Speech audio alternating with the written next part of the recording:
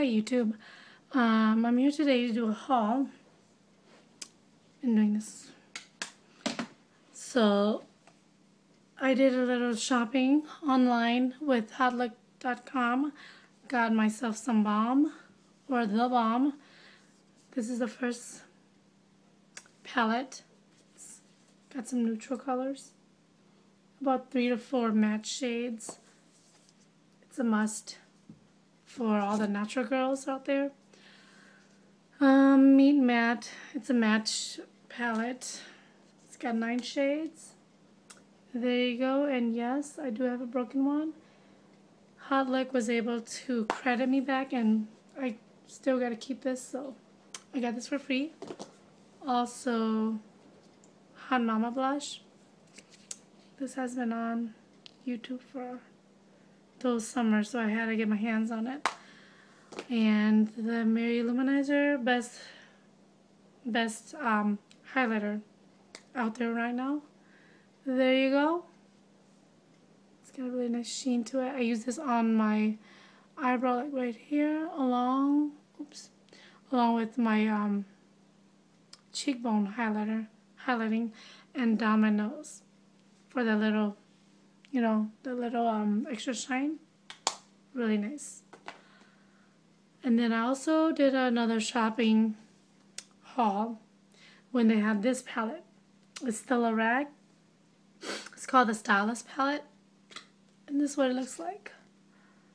Cool tones, all shimmers, two highlighter, all your shades right there. I did a couple of looks with this and I'll be doing some tutorials with that. Also during the same time, got me some NYX. Um, first one is Cocoa. This kind of color. Brown, brownish plum color. Second one, Desert Rose. A berry raspberry color. These are kind of like ooh, the matte shades. And cinnamon. It's like an orange um, that kind of color. And I do not have these kind of colors, so that's why that's why I got these. It, it came in a kit. So during that time, I also got some gloss, and this came in a kit too. It was five gloss. Um, these are really good. Uh, the first one is Extreme Shine and Natural, or no, and yeah, natural. Really nice. Second one is soft matte, which this is a really, it's not even natural. It's very corally. Third one is the butter gloss. I have not tried this yet. Fourth one is perfect. This one's really nice. And all these are, they come with a dome shape. Really, really nice. Last one is pump it up. I do not like these. Anything to pump up, I don't like it because my lips, they're not that small. I don't need plumpers. Whatever. Went to Target, had um, had a little clearance um, spree over there. NYX, oh no, uh, Milani, Berry Amore, Berry with gold shimmers.